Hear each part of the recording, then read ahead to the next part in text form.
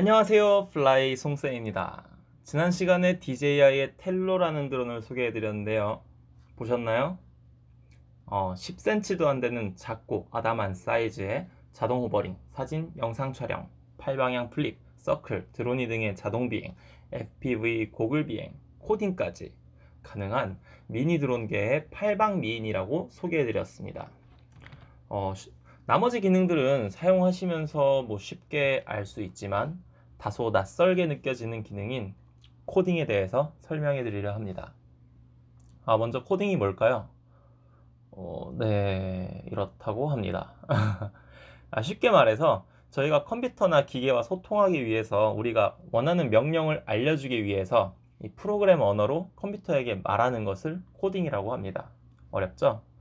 네, 2015 개정 교육 과정이 시작되면서 초중고 교육에 이 소프트웨어 교육이 필수 내용으로 들어오게 되었고요. 그 중 하나가 바로 코딩입니다. 네, 뭐 그렇습니다. 이 제가 가지고 있는 이 텔로 드론도 바로 코딩이 되는데요. 엄밀히 따지면 진정한 의미의 코딩이라기보다는 이 스크래치나 드론 블록스 등의 프로그램을 통해서 어, 내가 원하는 비행을 하기 위해 드론에게 어떤 순서로 명령을 내려야 하는지를 알게 되는 과정 정도가 가능합니다. 아, 그럼 지금부터 살펴볼 건데요. 아, 먼저 준비물은 텔로 드론 한 대, 그리고 와이파이 연결이 가능한 노트북 또는 데스크탑, 그리고 지금부터 소개해드릴 이 스크래치와 노드 프로그램, 그리고 이 텔로용 명령 파일입니다. 자, 시작하죠. 아, 먼저 이 영상에 있는 이 세 가지 링크를 제가 본문에 첨부해 드릴 건데요. 하나씩 설치를 하면서 살펴보겠습니다. 먼저 첫 번째 파일을 주소창에 붙여넣기 해주세요. 네, 저는 미리 해놨습니다. 네, 첫 번째 파일은 바로 이 스크래치라는 파일이고요. 어, 저희가 설치할 것은 오프라인 에디터예요. 어, 이 텔로를 코딩할 때 스크래치를 사용해서 코딩을 할 건데요. 어, 대신에 이 인터넷 연결은 텔로와 컴퓨터가 연결이 되어 있어야 돼요. 그렇기 때문에 오프라인 작업이 가능한 오프라인 데스크톱용 스크래치를 예, 다운받을 예정입니다. 파일 버전은 뭐 여러 가지가 있는데요. 저는 이전 버전인 2.0을 추천해 드려요. 그래서 밑으로 내리시면은 이 스크래치 2.0이 있고요. 네, 여기서 뭐 윈도우스 버전으로 설치를 해 주시면 됩니다. 네, 스크래치 offline editor Windows download 아 그리고 이 어도비 에어도 파일도 필요하기 때문에 혹시 집 PC에 어도비 에어가 없으신 분들은 여기서 다운받아 주시면 됩니다.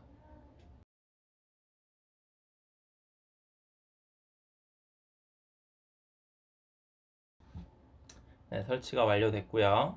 이런 귀여운 고양이 같은 네, 캐릭터가 하나 있네요.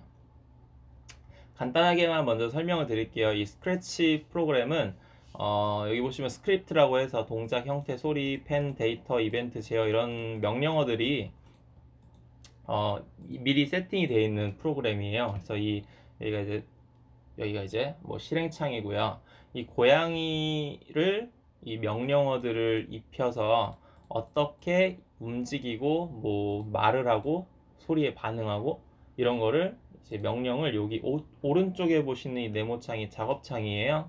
여기다가 이제 뭐 10만큼 움직이기, 15도 돌기, 그래서 이런 가로 안의 내용은 원하는 대로 바꾸실 수가 있고 이벤트라고 해서 깃발을 클릭했을 때 얘가 계속 10만큼 움직여서 30 돌기 뭐 이런 식으로 하면 안 되잖아요. 뭔가 명령어가 필요해요. 그래서 깃발을 클릭했을 때 이런 움직임을 해라. 그리고 뭐 스페이스 키를 눌렀을 때는 어떤 움직임을 해라. 뭐 이런 식으로 어, 정말 하나하나 알려줘야 돼. 저희가 예를 들어 사람한테 너 여기까지 가 이러면 알아서 가잖아요. 근데 컴퓨터는 그게 아니라 여기까지 가면은 뭐 어, 떤 명령을 들었을 때 무슨 방향으로 뭐 몇 초에 걸려서 어느 정도 속도로 뭐 이런 식으로 다 알려줘야 저희가 원하는 그런 걸 실행을 하게 됩니다.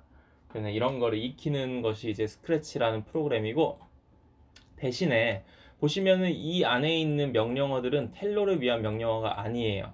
이 명령어들을 가지고 저희가 텔로로 움직일 수가 없어요. 그렇기 때문에 어, 텔로로 움직이기 위해서 저희가 노드라는 프로그램을 사용합니다. 이 노드라는 것을 또 주소창에 치고 들어가시면 네, node.js라는 파일이 뜨겠죠. 아, 이 사이트가 뜹니다. 여기서 두 가지 버전이 있는데요. 왼쪽은 이제 구버전이고 오른쪽은 신 버전이에요. 어, 둘 중에 뭐 아무래도 구버전이 좀 더 안정화가 되어 있고 신버전은 또 뭐 에러가 혹시 모를 에러가 있을 수도 있는데 이거는 이제 뭐 여러분들이 선택을 하셔서 설치를 하시면 될 것 같습니다. 저는 신버전을 설치했습니다. 네, 여기 노드 12.8.0 뭐 설치하는 방법은 크게 어렵지 않기 때문에 제가 따로 보여드리지는 않았어요. 다음에 마지막으로 세 번째 네, 스크래치라는 스크래치의 명령어 파일이 이제 필요하겠죠. 네, 요거 주소창에 넣으시면 하단에 보이는 이런 스크래치 압축 파일이 생기는데요. 네, 압축 파일 풀어주시면 됩니다. 여기까지 되신 분들은 저처럼 세 가지 파일을 가지게 되십니다. 첫 번째는 스크래치 프로그램, 두 번째는 노드 프로그램, 세 번째는 스크래치 명령 파일이에요. 네, 여기까지 되셨나요? 자, 그러면은 이제 텔로를 스크래치 하는 법을 알려드리겠습니다. 뭐 어렵진 않으니까 따라오세요. 네, 첫 번째로 이 압축을 풀, 풀었던 스크래치 폴더에는 세 가지 파일이 있는데요. 그 중에 어, 첫 번째 텔로라는 프로그램이 자바스크립트 파일이에요. 이 자바스크립트 파일을 노드라는 프로그램에 drag and drop 해주세요. 되면 노드 프로그램이 실행되면서 텔로 스크래치가 running 된다라는 말이 뜨겠죠. 네, 이 창을 그대로 띄워 두시고 스크래치를 실행해 주세요. 자, 스크래치를 실행하시면 아까처럼 이런 화면이 뜰 텐데요. 여기 파일을 보시면 이렇게만 떠요. 네. 그런데 저희는 노드를 실행했는데도 여기에 별다른 명령어가 추가되지 않았죠? 자, Shift 키를 누르신 채로 파일을 눌러주세요. 그러면 달라진 점 한 가지 찾으셨나요? 네, 그냥 누른 점과 Shift를 눌렀을 때 그냥 Shift 네, 밑에 세 가지가 생겼죠?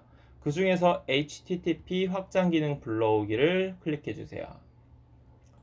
네, 그러시면은 아까 있었던 텔로 뭐 스크래치에 있는 파일을 넣어 주시면 됩니다. 저는 이 두 가지 다 넣어 주세요.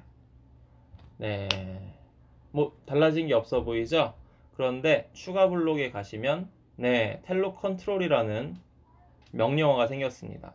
네, 텔로 컨트롤이라는 명령어를 간단히만 알려드리면 take off, 이륙, 착륙, 뭐 몇 20cm까지 상승, 뭐 20cm 하강, 20cm 왼쪽으로, 20cm 오른쪽으로, 20cm 앞으로, 20cm 뒤로, rotate 회전하다, CW clockwise 어, 시계 방향으로 회전한다. 각도 몇 도? 90도. 네, 90도 시계 방향 회전. 90도 반시계 방향 회전. flip. 네, 뭐 flip을 한다.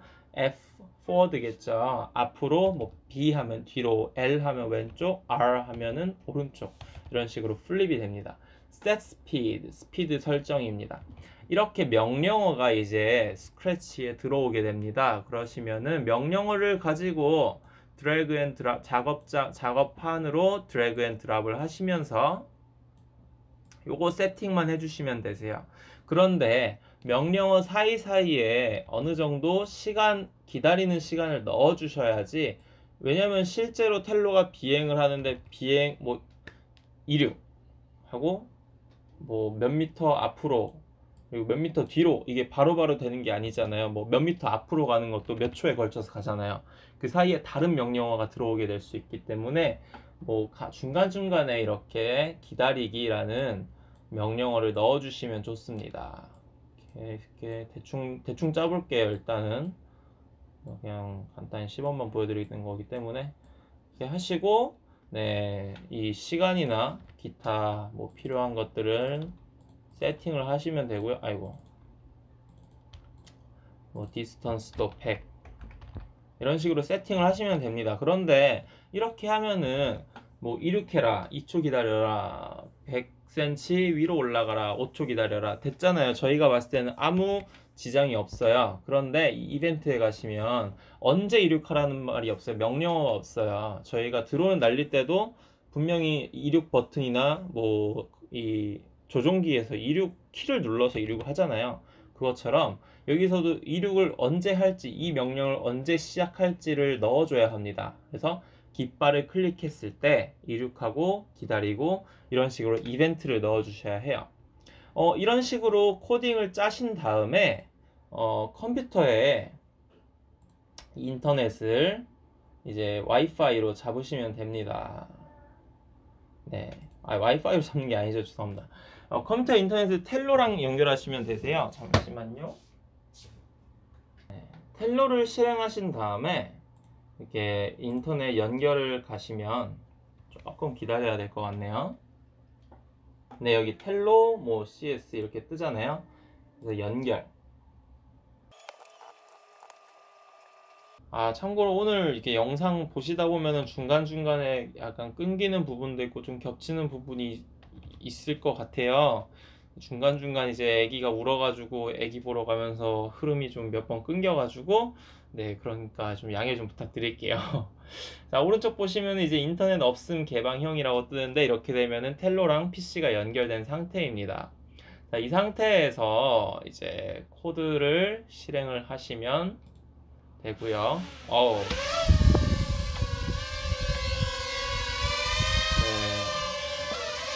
저는 방에서 눌렀는데 갑자기 떠가지고 스페이스 키를 눌려서 내렸습니다. 네, 아, 자, 아무 생각 없이 방에서 그냥 띄웠네요. 자, 이런 식으로 이제 코드 명령어가 이렇게 노드 프로그램에 들어가서 실행이 되는 것을 아실 수가 있음, 보실 수가 있습니다. 어, 이제 텔로를 통해서 스크래치를 하시다 보면, 코딩을 하시다 보면 정말 많은 시행착오가 있을 수 있습니다. 어, 실제로 이제 텔로 같은 경우는 워낙 작은 드론이기 때문에 미세한 바람 같은 거에도 영향을 좀 받고, 뭐, 그 실내 지형 지물 때문에 좀 오차가 좀 커요, 사실. 그래서 원하는 정도의 정확한 뭐 코딩 비행을 할 수는 없겠지만, 그래도 어느 정도 느낌도 낼 수 있고 이 텔로 코딩을 통해서 내가 기획한 비행이나 아니면 뭐 장애물 코스를 딱 이렇게 완주를 했을 때 완, 비행을 했을 때 그 성취감 또 이게 대단하지 않겠습니까? 어, 다른 코딩 통해서 하는 이런 로봇 같은 뭐 소프트웨어 교구나 이런 스크래치 프로그램은 정말 말 그대로 2D잖아요. X축과 Y축 사이에서만 움직일 수 있는 그런데 이제 이런 텔로 같은 드론은 3축이죠 3D 어, X, Y축뿐만 아니라 뭐 Z축까지 이렇게 고려를 해서 때, 비행을 해야 하기 때문에 어, 제 생각엔 정말 소프트웨어 교육의 교구로서도 충분히 잘 사용할 수 있고 아니면 정말 집에서 그냥 이렇게 간단하게 코딩을 하면서 뭐 텔로를 통해서 코딩에 재미도 붙이고 뭐 소프트웨어 교육도 할 수 있는 훌륭한 교구라고 생각합니다.